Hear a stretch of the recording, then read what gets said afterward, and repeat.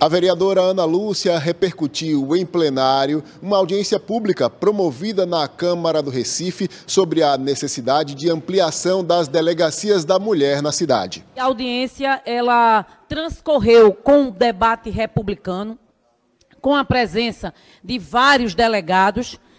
A delegada Tereza Nogueira, delegada responsável pela primeira DEAN de Recife, esteve presente, compôs a mesa.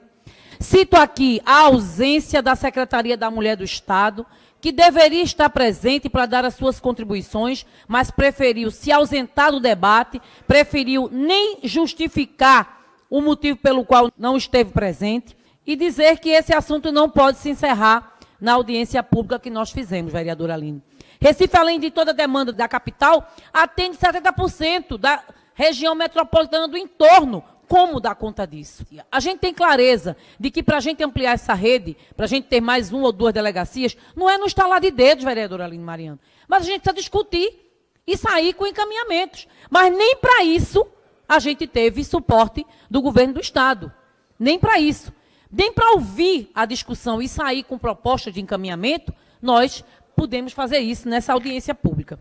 Pontuo também que a ausência da SDS né, na pessoa da, da responsável, da delegada Carla Patrícia, na época secretária de Segurança, porque no dia seguinte ela pediu para sair, no dia seguinte à nossa audiência, a delegada pediu para sair do cargo que ocupa. Na hora da gente traçar política de enfrentamento à violência contra mulheres, a gente precisa contar com todos os atores.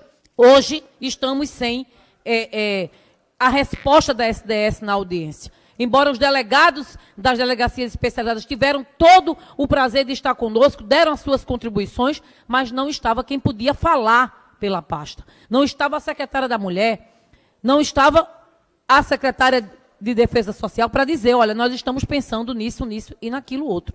A vereadora Aline Mariano solicitou a parte para reforçar a importância do tema levantado na audiência.